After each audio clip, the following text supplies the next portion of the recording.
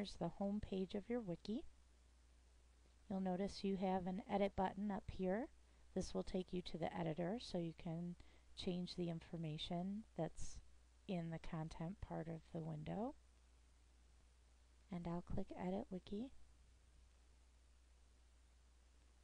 And you just come in here and you'll notice that the editor is very similar to Word, but very, very watered down. Not a lot of tools. Bold, italicize, underline. Here's your text style.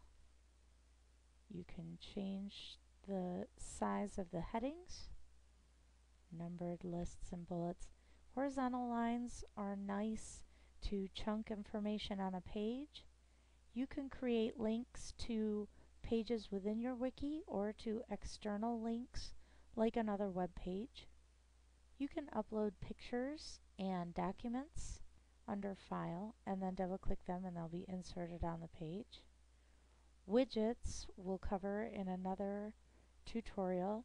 You can embed things on your pages like a Google Doc and so on. You can preview your page and when you're all done you have to make sure to save your page. So we'll make a little change here.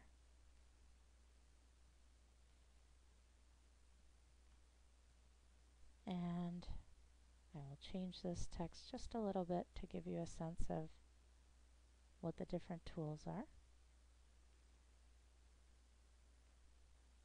You have several choices for fonts because the, the ones that they offer are common on lots of computers. I'm going to make the font a dark red color. And notice you have other things that you can do. There's an advanced tab, so you can get really specific and then click apply styles when you are finished. And that's what will happen. And we'll click save.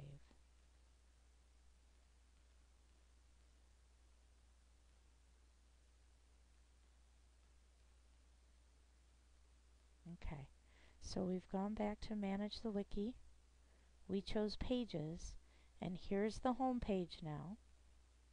Notice when I hover over it I could rename it so know that those are there. If I click the checkbox here I can lock this page. Now when people visit my wiki they can view the page but they won't be able to edit it. If I want to add a new page to my wiki I click new page and I need to give that page a name.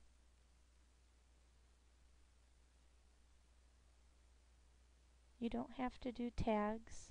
Tags help when you're searching your wiki for something specific. If you put tags, what the content is about, and separate them by commas, that can help your visitors to find things much more quickly. But you don't have to. You can leave that blank and click Create. And here we are at our practice page. It's unlocked because there's no little padlock, but I can edit.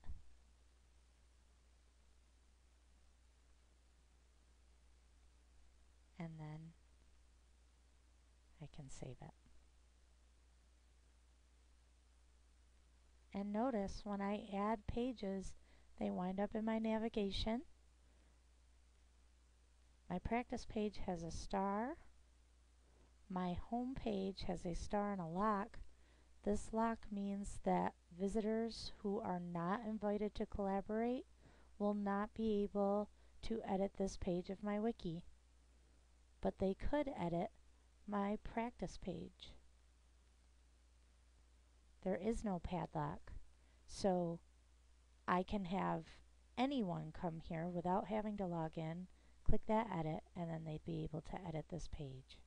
Remember, I can go to Manage Wiki, click Pages, and I can click next to Practice to select it, and I could lock that page if I want to, but if I'm using it with students, this would be a good way to set up a page for them to use, but if they're young kids and they can't have their own Wikispaces account, I could have it unlocked while we're in the computer lab and they could access it without having to log in so they could edit. And then when class is done, I can come in and lock it and then they would not be able to access it without me there to supervise. So that's one way to keep track of that. And that's it. We'll do more in other tutorials, so stay tuned.